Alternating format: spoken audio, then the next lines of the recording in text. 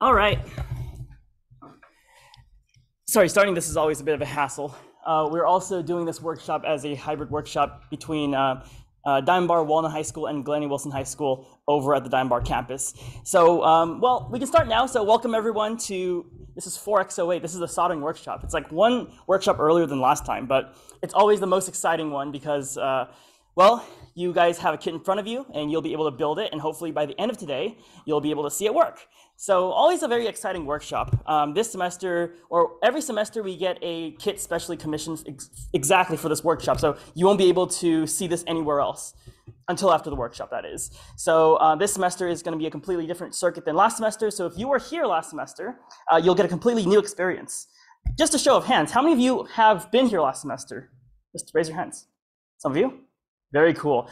For and then I guess uh, the other half. Um, how many of you guys are here for the for very first time? Raise your hands. Wow, that's amazing. That's almost like all of you. So, uh, for those of you who haven't uh, been here before, my name is Chris Lai. I am the president of CPP Hyperloop, and this is our workshop series. We hold one workshop every week, and this one is always almost the almost always the most popular one. Uh, so let's get started. This one is soldering. So always, I like to introduce every topic by explaining uh, why we learn it in the first place. Because as you might know, you're here, you're, this is like the Friday afternoon. This is actually the Friday before spring break, so a lot of students actually aren't here at this time, but I am very glad that you are. For Diamond Bar students, you guys don't have spring break until like a week later, but for college students, spring break actually starts tomorrow, so yay. But again, I thank you so much for coming to this workshop and taking your time to learn some essential industry skills because soldering is an essential skill if you're going into electronics, if you're doing hobbyist, or if you're just building robots. And unfortunately, they don't teach that enough at this college. Actually, if you're in the electrical engineering department, they don't teach that at all. You have to learn it from a project or this workshop. So that was one of the main motivations of learning how to solder. But exactly what is soldering?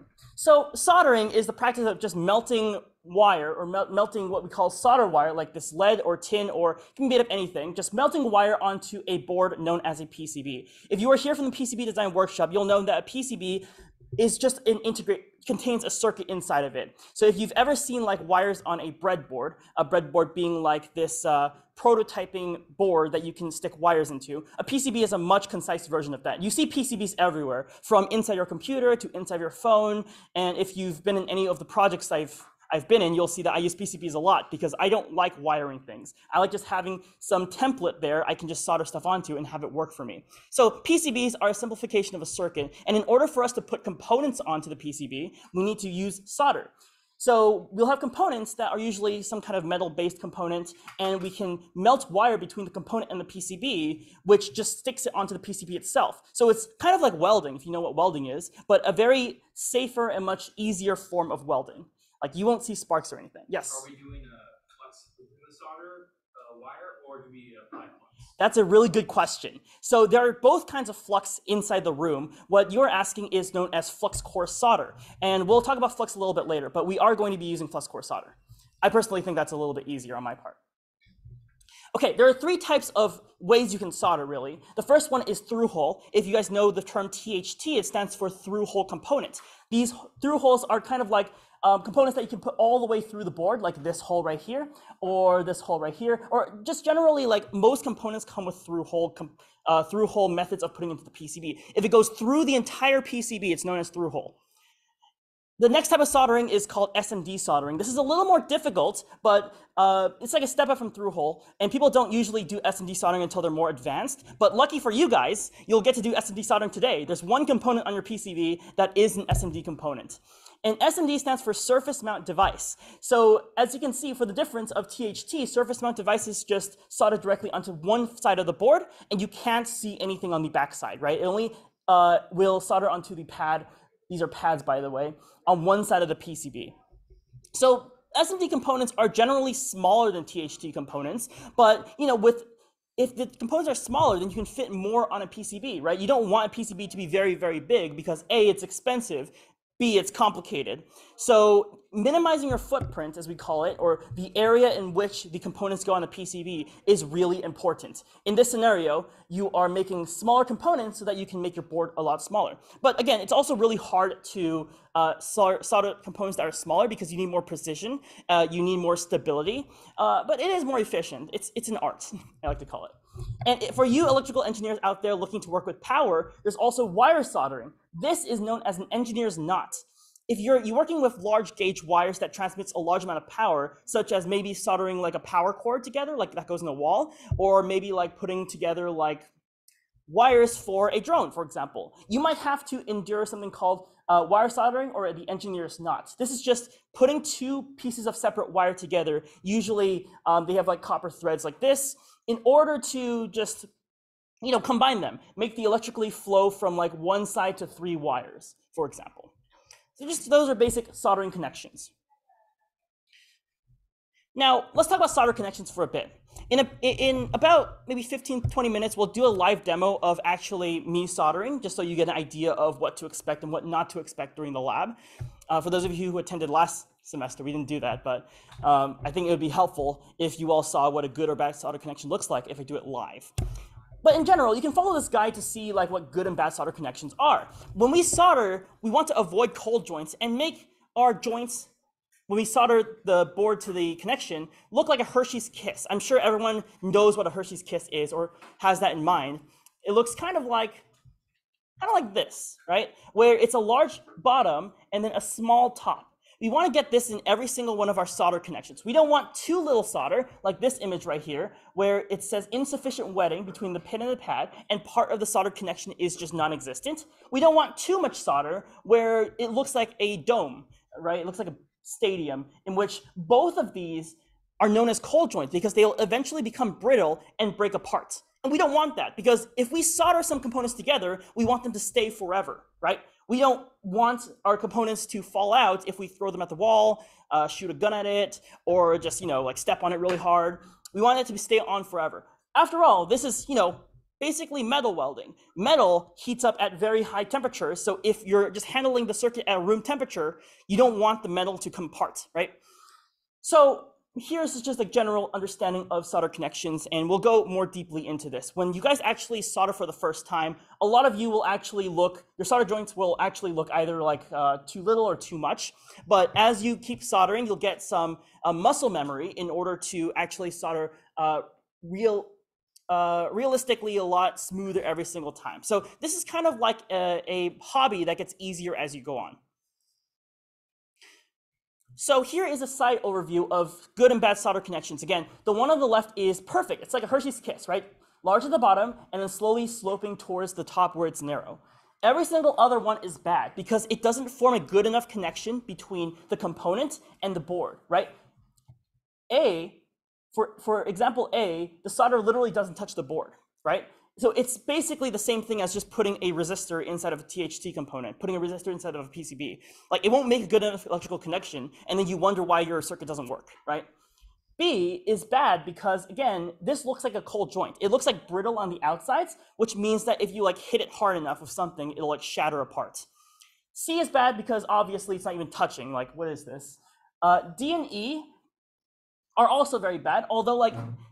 you might not know it at the first glance because it looks like a Hershey's Kiss on this side. It looks like a Hershey's Kiss on this side. Does anyone know why D and E are bad? Yeah. Across the circuit. Right, we made a short circuit here. Whenever you solder, especially for capacitors today, and just keep that in mind, you want to avoid this scenario because it's very, very easy to do so. Here it's magnified, but when you're soldering a very tiny component like a capacitor, you might accidentally like short circuit and not even know it. In fact, that was one of the most common mistakes we saw last semester when we did this for Blinky Learner 2, is that people would accidentally solder the capacitor legs together, creating a short. And that would just heat up the entire board, make it hot, make it uh, not like you. So be sure to be very careful when soldering small components together. You can inspect it under like a bright light just to make sure they're not touching, or you can use a multimeter to measure between the pins. A multimeter has something called a continuity checker, which means if you take the two ends of a multimeter and put them across both pins, the multimeter will beep if it's continuous, which means it'll beep if you have a short circuit between D and E, right? So you can use a multimeter to be able to prevent that from happening. in general, though, try to aim for this. And we'll talk about different things in soldering in which uh, would help make you good connections. So I talked about cold joints for a bit, but here's a more drastic example in like real, real life as to like what cold joints actually look like. On the left here, this looks like a Hershey's Kiss, right? But it's actually not that great because you can see like you can see basically see the air or the oxygen bubbles trapped inside of the solder because it's not clear, it's not smooth, it's not a good finish compared to the right side, right? And the right side, you can see there's like a gleam on it. It's very smooth, like there's just metal in there. There's no like anything trapped inside of it sometimes you'll get cold joints because the materials or the equipment you use is not good enough. It's not good enough to melt the metal that well. It could be that your metal sucks, your soldering iron sucks, or just some other variable in between is not that great, right? And a lot of times what I see happen is students will come to me saying that um, their soldering joints are not that great, and most of the time it's because they're using suboptimal equipment. Amazon sells like basic soldering kits for like almost $17, right? And those soldering kits often come with really, really bad solder wire. When I say solder wire, I mean the metal here. And the most common thing they would give you is really cheap solder wire made out of tin, made out of aluminum, made out of some metal that's just not great for soldering, right? The solder you're going to be using today is flux core solder. It's 4060 tin lead. Now there is lead in it, so uh, it is a little bit dangerous, but I will talk about how to avoid uh, you know, being totally harmed by it. Now, again, the issue with uh, not having a good joint is mainly because of the equipment you use. So you want to get a good soldering iron, and you want to get good uh, solder wire. Now, we have to compensate with the material you're going to be using today because, you know, we can't get everyone like really nice soldering irons. We're not that rich. But we got you really good solder wire instead. And the solder wire you're going to be using today is known as flux core wire. And we'll explain what that is in a bit. So again, we talked about soldering irons. You can either get really cheap ones like the one on the left, and, or really expensive ones like the one on the right. This one is actually uh, my soldering iron from my home. I bought this for about 50 bucks, and I brought it here to demonstrate for you today. But really, the soldering irons in the left kit do work. I just found out from my experience, it's best if you upgrade the solder to a higher tier solder. Either uh, have it like a tin flux core lead or, uh, or a lead flux core wire in order for your wire to melt better in order to not you know, get a cold joint. The problem with non-leaded solder is because it takes a higher melting temperature to actually get it to melt properly. That's why you often see you trying to like crank this temperature up to like the maximum in order to get non-leaded solder to work. It's generally a hassle. Uh, lead tin uh, solder actually melts better and creates that nice smooth uh, oxidized solder joint you saw in the previous slide. So that's what I recommend. Now, I'm going way ahead of myself in that this is actually pretty good. Uh, you can see the solder wire, uh, the aspects of the solder wire listed on the actual uh, reel itself. You can see SN60, so it's tin 60 and lead 40. 1.8% flux, 0.6 millimeter diameter, and G GW 50 grams, the uh, gross weight. So in order for us to understand why we use this, or like why I recommend this, we have to understand what flux is first. So I will skip this slide for now. I'll also skip this slide, but I want to talk about flux first. Okay, flux, if you don't use flux core solder, or flux is basically like magic. If you put it on your solder connections, it will remove all the little oxygen bubbles inside of it, creating a really smooth connection right? And there are multiple different kinds of flux. You have flux paste, you have flux pens, you have flux that you can inject into your board. We have all three different kinds of flux uh, in the lab. We also have flux rosin, right? So flux is basically um, great if you want to work with, let's say, SMD components in a heat gun because it melts it quickly, it puts everything into place, and it's generally like really awesome to use. But for your application, if you're just soldering THT components together, some of the lead or the, some of the solder wire actually comes with flux embedded inside of it, which is awesome. It's like an invention of the century because as you're soldering, the flux inside of the wire actually goes into your connections, automatically making it way more smooth than it is before. Unfortunately, I don't know if they have invented non-leaded flux core solder yet. So uh, that would be the next step up or the innovation for these kind of solder wires because it's less dangerous and you still get the nice smooth finish you have on your PCB. But that's why I recommend generally to use this kind of solder because your flux is already inside of it, so you don't need to apply extra flux. Because I remember the first time we did this, I saw a lot of students actually like pouring flux onto the board, and I got really scared because uh, you shouldn't use that much flux because flux burns and it'll leave marks on your PCB, and too much flux is actually bad for you. So it's kind of distributed evenly inside of the solder already. So if you look at the cross section of a wire, the outside will be all metal, and the inside will be a little cylinder of flux. So I answered the question, why not lead-free, right? You don't want to use lead-free solder or you lead-free solder is suboptimal due to its higher melting temperature. And it'll be harder to, if you have a bad soldering iron to actually melt that down. But if you have a good soldering iron that can go at very high temperatures, then you can use lead solder. You may have to use flux, or sorry, non-lead solder, and you may have to use flux. Now, the real question is soldering is a little bit dangerous, as with everything we do in life, right? Everything we do in life is a little bit dangerous. So how do we protect ourselves? One of the ways I protect myself is using an exhaust. Now, I have this box exhaust fan made by Koto, and you'll soon see a lot of the things I have actually are kind of expensive. This box fan is $50, almost now. But it's really great. If you turn it on, which is not plugged in right now, a fan will blow to the back of it, sucking all the solder fumes out. Now, solder fumes can be dangerous. Solder fumes, if you look at the, um, or if you use the lead core solder, is usually consisted of the burnt flux. So the solder fumes that come out is just flux, but it's an irritant, right? Flux is an irritant in that if you breathe it in, it will cause your lungs, your eyes, your nose, your ears to become a little bit more sensitive and a little bit more swollen. Happened to me a lot. You try to want to avoid it generally. You can prevent it by wearing a mask, and we should have some masks around building 9 you can go ahead and take a look at or grab. Uh, or you can use one of these box fans. Now, unfortunately, we don't have box fans uh, today, so I would recommend you get a mask if you can. But uh, you don't want to just like go over the soldering iron and inhale them. What I usually do when I don't have a box fan is I would just solder, and then I would just uh, take my head away and just breathe in some clean air, and then go back to soldering. Because again, you don't want to just sniff the stuff. It's not that great. Now, some people will pose the argument as to if you're using lead solder, these fumes will contain lead. That's not that true. These fumes do not contain lead if you're using solder. These mainly contain uh, just a flux. So why is that lead dangerous? Well, lead is kind of dangerous because if you touch it that much, if you touch lead, some little particulates will actually go into your skin and then stay in your body forever. That's how lead poisoning happens. Saying that to scare you, but there's not enough lead inside the solder to actually do that. So if you want to handle it with your hands, bare hands, you can.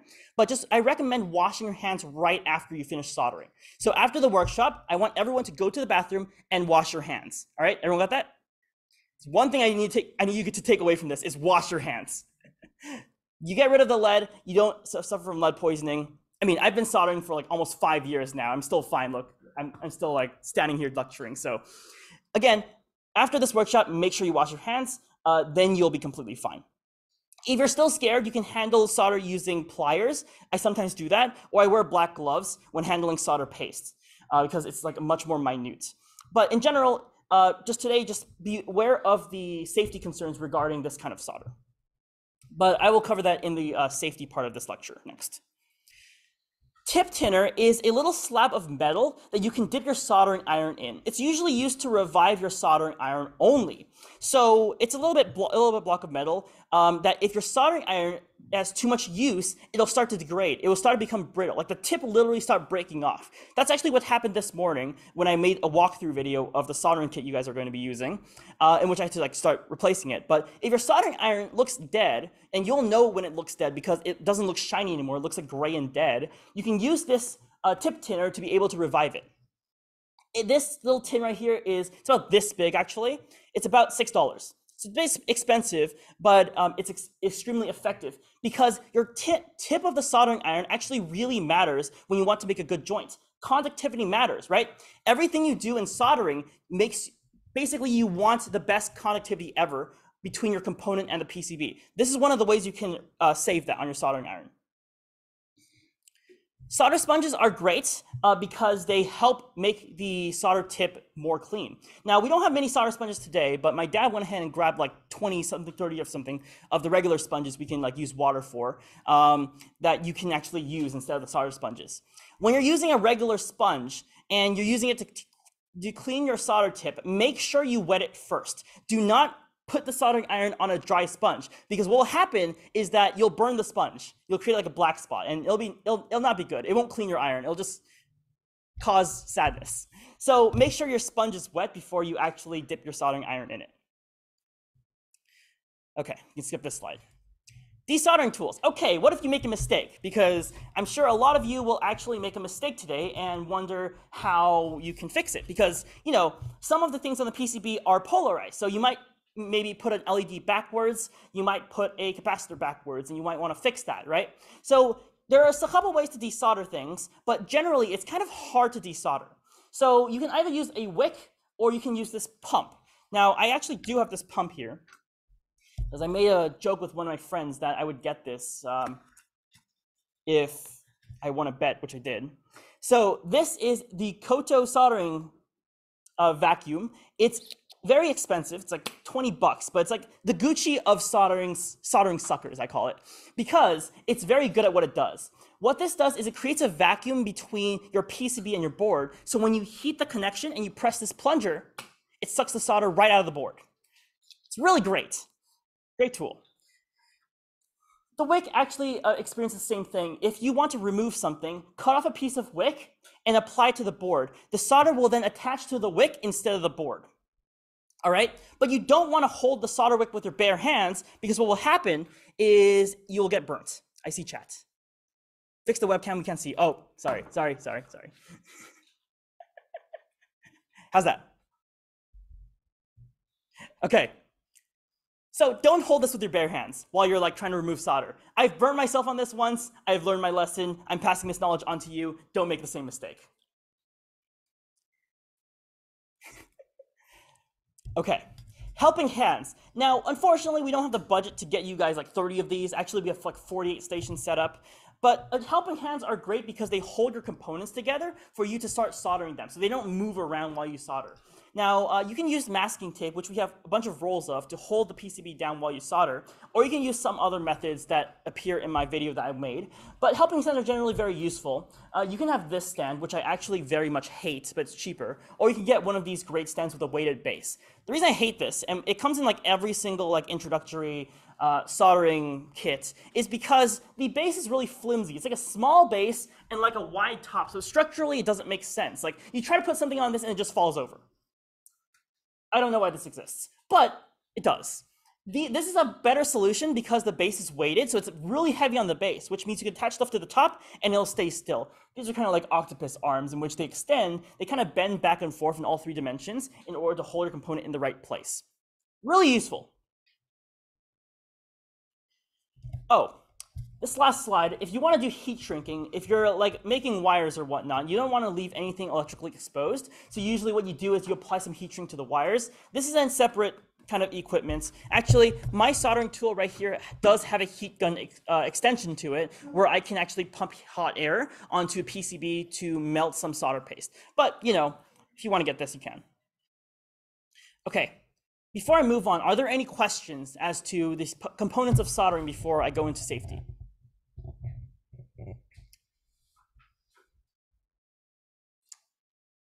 Okay.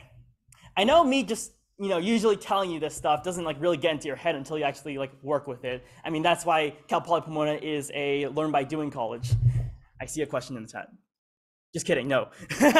All right, moving on to soldering safety. Okay, if you weren't listening to section one, please listen now because I don't want people getting hurt.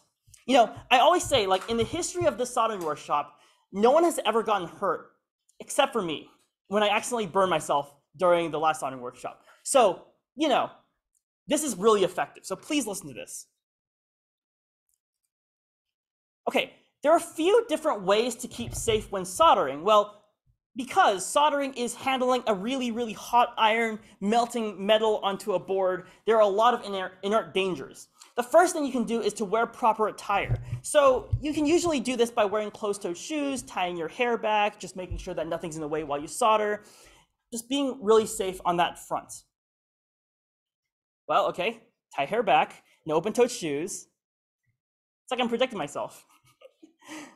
now, the second thing is to watch out for solder splash. Now, I don't know if a lot of safety lectures actually cover this or not, but the phenomenon of solder splash is when you're working with solder, that is pretty old and hasn't been used for a long time, it gets really reactive. And kind of like when you're cooking and oil starts splashing back at you, solder will also start splashing back at you. So I've had it happen to me where like I'm soldering and then suddenly like some solder just like splashes out and then hits my hand and then it's a bit painful. It's like getting a shot. But just watch out for that. And the way you can save yourself from this is just to use nice equipment. Don't wait until your solder goes old. Every solder tube you're going to be using today is brand new. I literally just got it yesterday. So this shouldn't happen to you. But if you're soldering in the future and you want to avoid this, just use good solder. Use good quality solder. Don't cheap out on this stuff. Okay, this is a very, very, very, and I'm going to say very, uh, I'm going to say again, very, very important part. You always want to assume the soldering iron is hot. I'm going to assume this soldering iron is hot. It's not even plugged in, but it's hot. Reason being that you don't want to burn yourself on this. It's very painful. Like it heats up to about 450 degrees Celsius. Actually Fahrenheit. Just kidding. Still, it's still pretty bad. But it's like 190 degrees Celsius, 480 degrees Fahrenheit. Uh, it will burn your skin. It will cook meat. Actually, it will like overcook meat. So when you're done soldering, right, and you turn off your soldering iron, let's say it's unplugged, you just finished soldering and you unplug your soldering iron, this is still going to be hot, right? Because there's residual heat on this. And the soldering iron is going to remain hot for about 15 to 30 minutes after it's been unplugged, right? It's metal, so it's gonna keep its heat. So even if it's unplugged, even when you're done using the soldering iron, do not touch the tip. Even after that, I'm not, I'm still scared to touch the tip because I'm gonna assume it's hot, okay? if you want to like exchange the tip, if your tip is broken, use pliers to exchange it with a new one. Do not touch the tip, okay? If you just follow this one simple rule, I assure you none of you are gonna get hurt. Do not touch the tip. Everyone got that? Words to live by. What? Sorry? Words to live by. Words to live by. Assume the soldering iron is hot, all right? There are more rules, but this is kind of like the number one rule you gotta follow just to make sure you don't get hurt. That's my next bullet point. Always tin your iron before using it. Uh, this used to be a good rule, but um, generally today, a lot of the soldering irons are actually brand new. I got some funding to get you guys brand new soldering irons this semester. Uh, so a lot of the soldering irons are brand new, which they don't need tinning. If only tin your iron when you see like rusting or like it looks like grayed out on the tip. Some irons are actually like that. But if your iron looks shiny on the top, it does not need tinning. You can just ignore the step, okay? Remember, tinning is only used for reviving your soldering iron. Oh, good. Assume your iron is hot at all times or on at all times. I said it again. Very important rule. Okay, who can tell me what's wrong with this picture?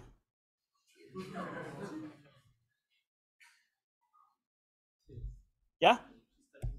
She's touching the tip! Stock photos, I tell you. Like, man, yeah, actually, bruh. So, like, stock photos will kind of mislead you, but definitely this is bad because the solder iron is literally like steaming from the outside. So don't touch the tip. Her hand's probably cooked by now. She probably has to get that amputated. I don't know, 30 degree burns everywhere. All right? So what did we learn from this slide? Don't touch the tip. Great. Okay, next slide. This one's a bit better of the stock image, but still, there's something wrong with it. Anyone want to try try answer? I think only people who have actually soldered before will understand what's going on. So what happens in this image is that his fingers right here are way too close to the solder tip. What happens is that even if your fingers are positioned this close, your fingers will get burnt because again, residual heat exists, right? He will expand from this little tip here and start burning your fingers, even if it's not touching it. It gets hot near there, and I've experienced it before. So when you're holding your soldering iron, you want to hold it like at the back area. like if you hold it any closer to that, even like this little rubber ring here, you might get burnt. So this area in the back where the, you have like a rubber grip is the safest. Don't hold it way too close where your like fingers like right next to it. Because I assure you, the insides of your hand are not going to feel great after you solder. All right, so hold it on the back, hold it safely. Don't touch the tip at all times.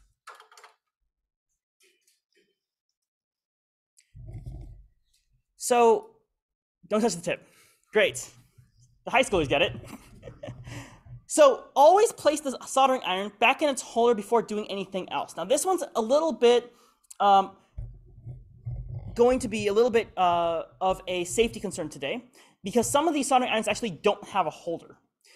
You want to place it in a safe location before going to do anything else. So if there's no holder, make sure you unplug it from the wall, all right? So if I'm done soldering, I want to make sure I put it back in there before I do anything else because the thing is, this soldering iron is connected to a wire, right?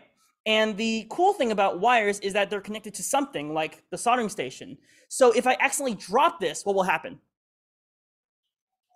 The thing's gonna go flying, right? It might not go flying on the ground, but it's gonna go flying. And nothing is scarier than having a hot soldering iron fly through the air. Very, very dangerous. So Generally, place the iron back in its holder before doing anything else.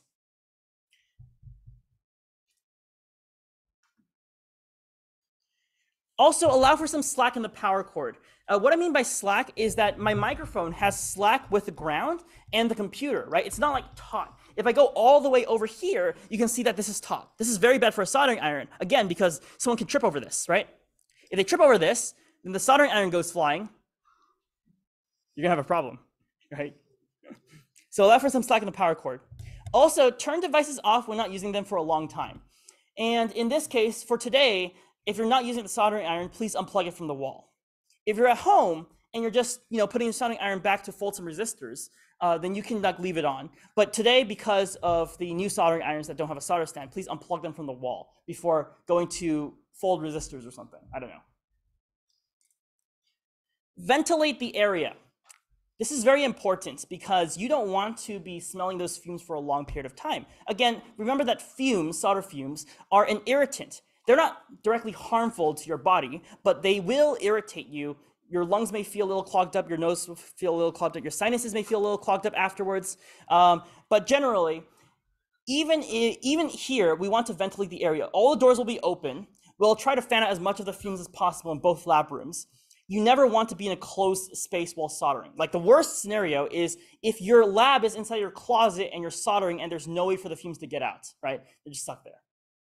So ventilation is key. Oh, this still applies. I had this on for the first time we did this workshop, but don't stare into the LEDs for a long period of time. Like it's better now, but uh, the deal of the LEDs I got are that they are super bright LEDs, which means that if you stare into the LEDs for like a long period of time, you might go temporarily blind. Uh, if they're a bit bright, I would say, but just like playing with it sometimes will will be fine. They're not that bright anymore. Just a warning. Even like with like regular LEDs, if not if not in the kit you have, sometimes those will get really really bright as well because they're powered by electricity. So just be careful. Before we go on, what's the number one rule? Don't touch the tip. Always assume it's hot. Everyone got it? All right. Now we're going to go over some circuit analysis. We're going to go over the circuit here. Like, what are we building today? And before I even like show you guys the circuit, I want to show you guys what it looks like or how you, what the finished product will be like. I have a test kit here, which I built this kit for a demonstration. This is a LED chaser. It's a um, LED attached to some shift registers attached to a 555 timer as a clock. So what happens is when you turn it on and rotate the potentiometer, you'll see this LED will blink at a certain frequency, right? Certain frequency uh, created by the voltage coming out of the 555 timer.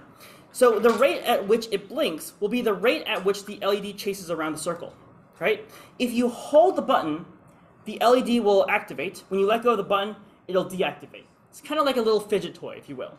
You can make it go faster by rotating the potentiometer. Right, it's going faster now.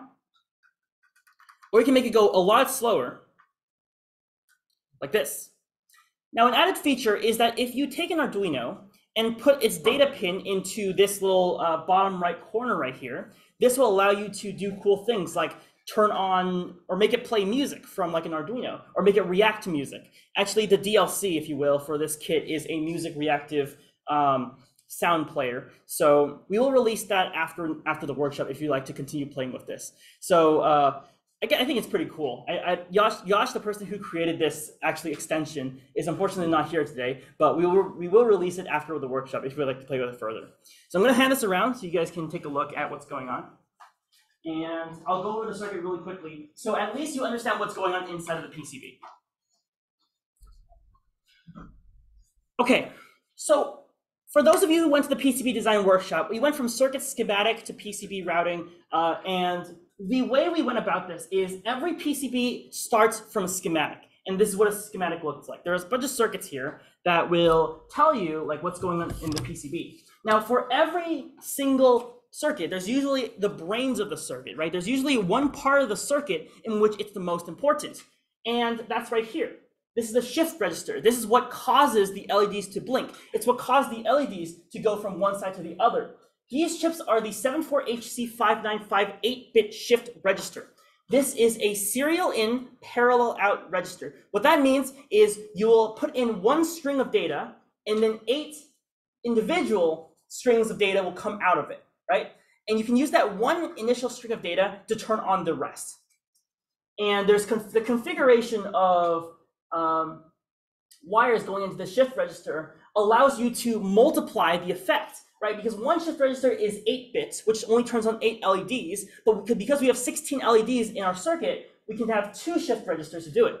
It's more complicated, but it's also more fun. Now, the other circuits in this picture are there to assist it are there to give it user utility. It's why you're able to, for example, turn on the circuit or turn off the circuit. It's why you're able to see the LED flashing coming out of the timer. So the reason why the LEDs are able to automatically flash and chase each other, if you will, throughout the circuit is because of this 555 timer astable multi-vibrator circuit on the top right corner.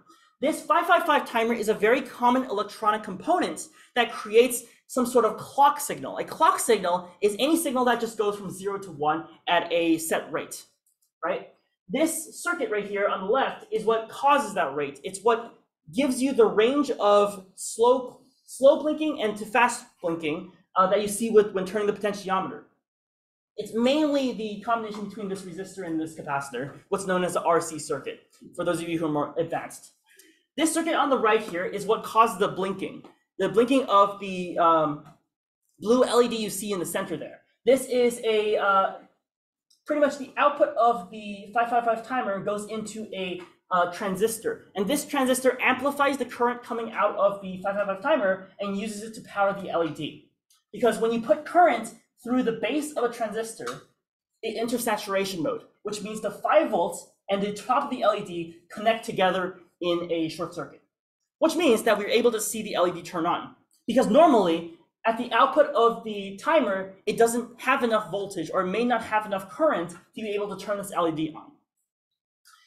Next, we move on to this circuit right here, which is a simple toggle push button circuit, right? It allows you to be able to push the button and have this little push toggle label here go directly into the, um, well, it goes into this circuit, but this push toggle eventually goes into toggle, which uh, which turns on the 55 timer and turns on the LED subsequently. And down here, this is just a switch to be able to switch between data and the Arduino. Because again, you're able to put any signal, any old signal from an Arduino or other microcontroller into this circuit and make it show custom, you know, blinking patterns. I think it's pretty cool. And then finally, the whole circuit that makes it not explode from a 9 volt battery is the top left circuit right here. Does anyone remember what the circuit is from the PCB design workshop? If you went to the PCB design workshop?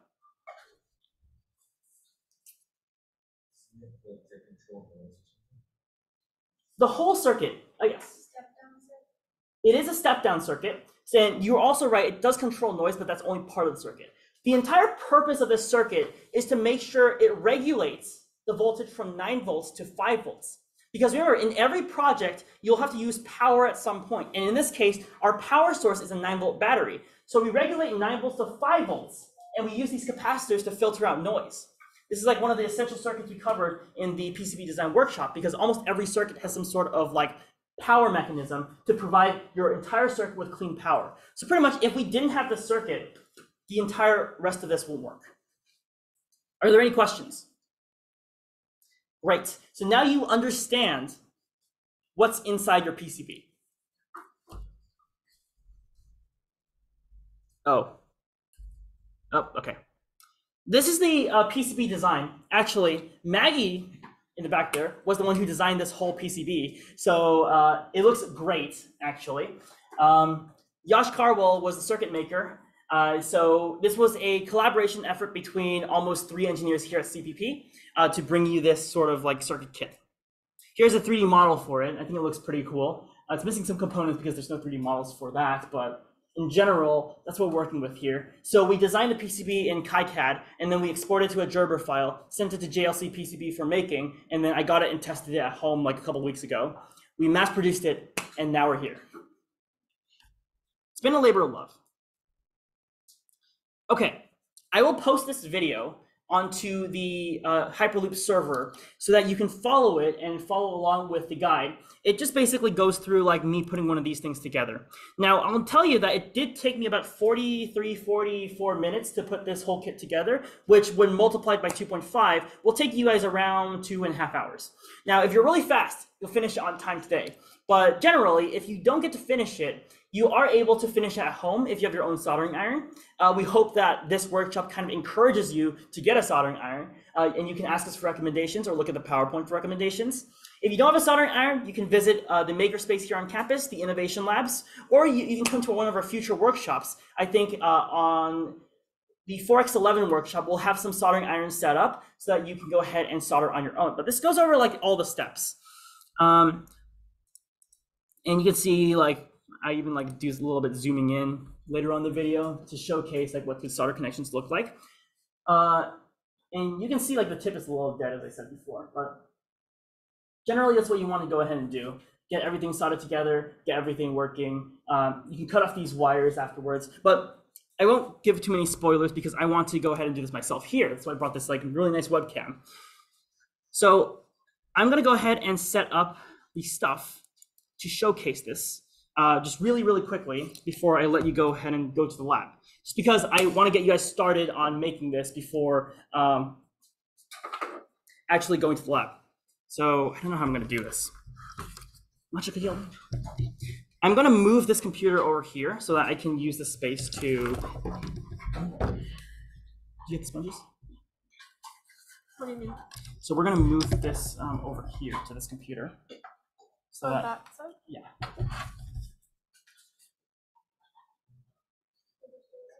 No, no, this, this, this.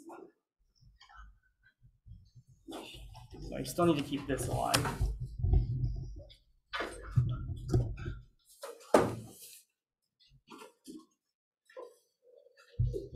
Unplug.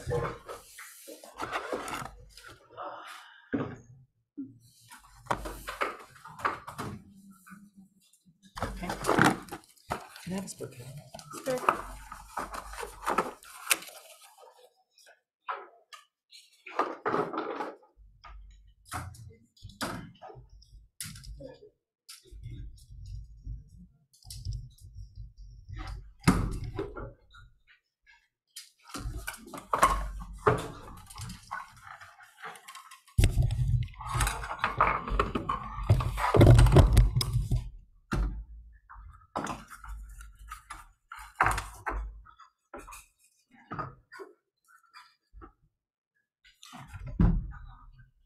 pen? Sure. You want the lights on? Uh, yes, please. Okay, can everyone see my setup? And did I disconnect everything in po- any, anything in the process? Okay. There are a few key things I want you to look for uh, while you solder this. So I think it's a good idea to, uh, s- or you should pay attention to, uh, for this section as well.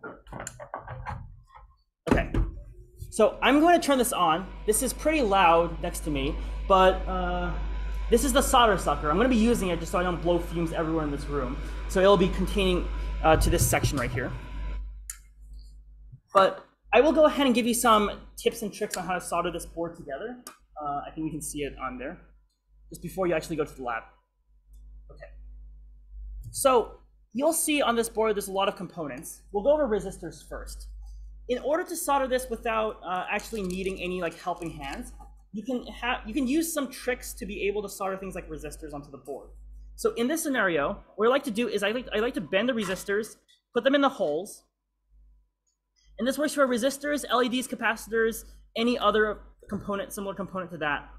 I will put this in the hole, and then on the back, I will bend the legs to the sides because this will lock the resistor in place. The resistor is not going to move from this location, which means I can then go ahead and solder it directly onto the board.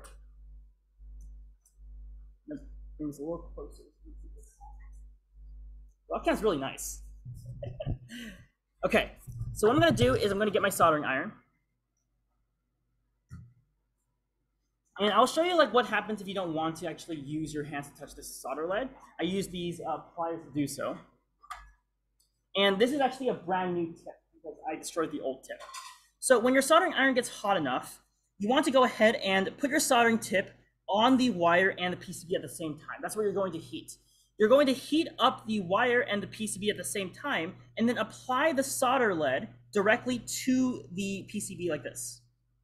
Now you'll notice that when I do that, I'm applying the solder wire onto the hot end of the soldering iron. That's like a little trick they don't teach you because they always tell you to um, put the solder wire into the PCB. But because the tip of the soldering iron is where the hot end is, you want to melt it on the soldering iron top, like that, right?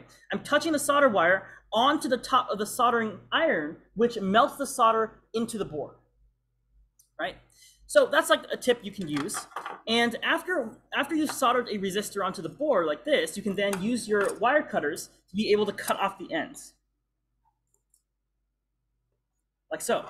And then you can uh, put these in a nice little pile and then throw them away later. But now we've had a nice little solder connection right here, and we can see that the resistor is nicely soldered onto the front of the board, right? Now resistors are not polarized. Does anyone know what the word polarized means? It's directional, which means some components on this board come in only one direction. Some components, like the LEDs, right? So let's solder an LED to the board right now for demonstration. I'll use a blue LED for Hyper-V. Okay, so I'm going to solder a blue LED to where it says LED here. Now, every time you see LED, you'll notice that has a negative sign and a plus sign. And you'll notice that little, this little symbol on the side of the board represents what side you should solder it to, right? Because the longer leg is always the positive end. So here, the longer leg is on the left side, the shorter leg is on the right side. Okay? Now, be very careful on this because desoldering is a pain in the butt, and you don't want to go ahead and do that uh, all for all of them. So be careful when putting the LED in the board, and make sure that the positive side is where the plus sign is, and the negative side is where the minus sign is. Everyone got that? Cool. So I'm going to put this LED in, and then you can do the exact same thing as before, in which you just hold it down under the PCB like this. And then on the back, you just bend the legs outwards and you will lock it into place. Now you can do this for like all the LEDs before soldering it. Usually that part's faster. You don't have to put the LED in, solder it, go to the next LED, solder it, and vice versa, right? So I'm gonna go ahead and solder this uh, LED in the board. And it's basically the same as before, where I'm gonna heat my soldering up, or soldering iron up, I'm to put my soldering iron onto the PCB, like so, right? I'm to heat the pad and the wire at the same time, and I'm to bring my soldering wire and put it onto the soldering iron tip, right? If your soldering iron tip is nicely uh, ironed or nicely tin, like mine is here, it's nicely uh, silver like that, it will automatically um, flow onto the PCB. So again, with the right connection here, soldering iron goes onto the pad, solder wire goes onto the pad as well, heats up on top of the soldering iron, and it flows onto the pad. Now this should no, take no longer than three seconds. If your soldering iron is on the board for more than three seconds, you're in trouble. All right? So as you can see here, even when I'm demonstrating, I'm like lifting up a little bit so just to not heat up the board too much. Because what happens if you heat the board up too much is it, you will burn the pad off. If you burn the pad off, it'll be really hard to recover from that. Okay, so we now we've covered resistors, we covered LEDs. I want to go over the SMD components. SMD again stands for someone? Surface mount device. Good. So the one surface mount device on the board is going to be the AMS 017. Now this is going to be our voltage regulator. It's a really nice uh, package. That's what we call like transistor chips or like how they're formed into the board. It's a really nice package and it's a really large scale too, which is a good introductory for you to learn SMD soldering. So I'm gonna go ahead and turn on my soldering iron once more. You notice how I'm turning it off and on as I go and solder. Uh, that's a good practice just to not damage your iron. So what I'm gonna do is, it's the same practice as before, only I'm going to heat the pad and the component at the same time. I'm going to melt my solder wire onto the pad. And the cool thing is you'll notice that it kind of like attracts the component inwards, right? And you can use your solder wire to position it on the board. Like so, and center it. Before soldering the legs together. And you'll notice I didn't take very long to do that, right? It was like bam, bam, bam. You don't want to take very long to solder one of these components together. Otherwise, um, you'll burn the board. Everyone got that? Cool. One last thing I want to show you before going on to the lab is how to solder these components together. These are the sockets.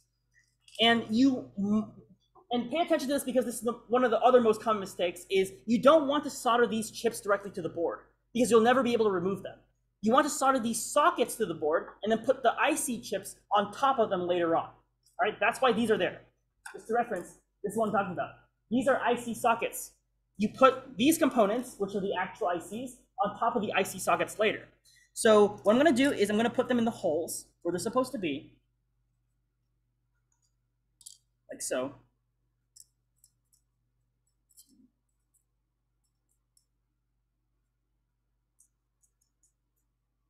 And listen closely because you don't want to make this mistake, right? Uh, I'm going to go ahead and press this down, actually. Just flip it over. I ruined it. uh, usually you can use masking tape for this, which is a better better way to do it. But uh, you can also use another PCB uh, or some other component that holds it down. Actually, do I have another PCB? You must.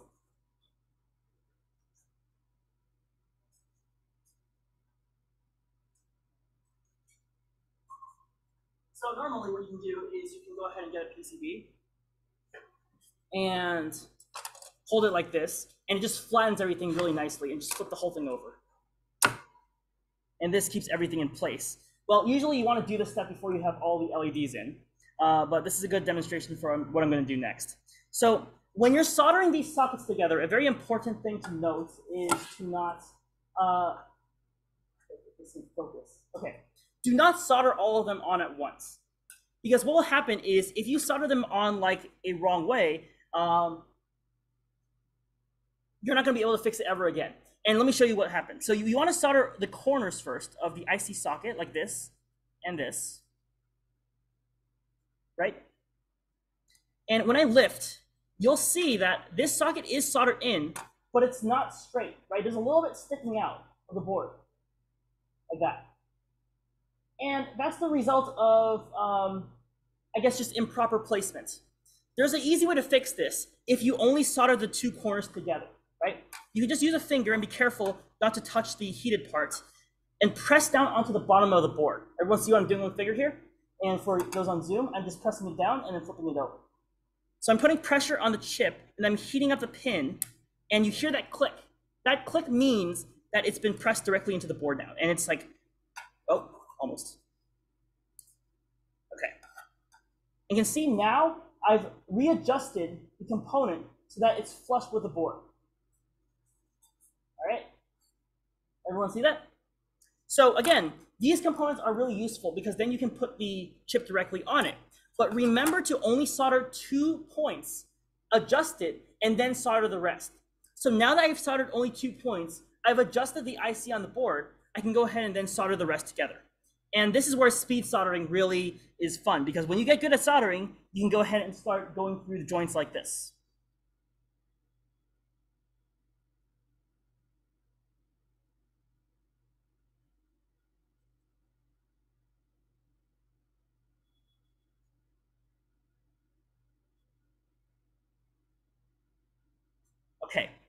And we're done. So everything is soldered. Now, you'll notice that this pin on the bottom here has a little bit too much solder, right? That's gonna create a cold joint in the future.